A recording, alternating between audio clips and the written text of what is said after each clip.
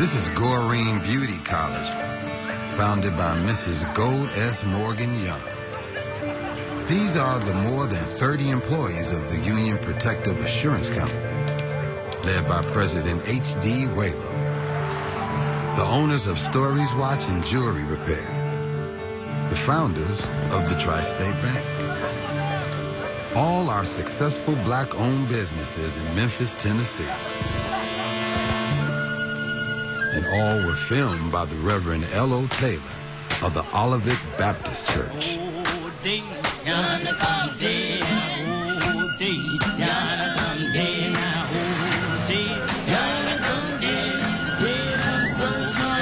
Taylor shot the footage you're seeing now as a record of black Memphis, a place white Memphis never even saw. It's the same in other southern cities too. Atlanta, Richmond, and Birmingham. Separation of the races have created thriving, but separate, cities within cities.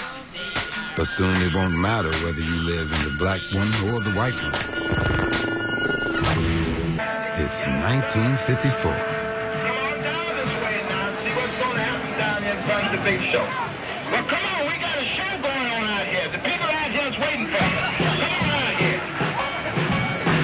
In Memphis, here at the 41st All-Black Tri-State Fair, you can find vegetable growing competitions, baby beauty contests,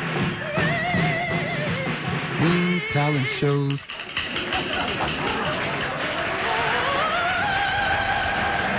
and a parade through the center of town.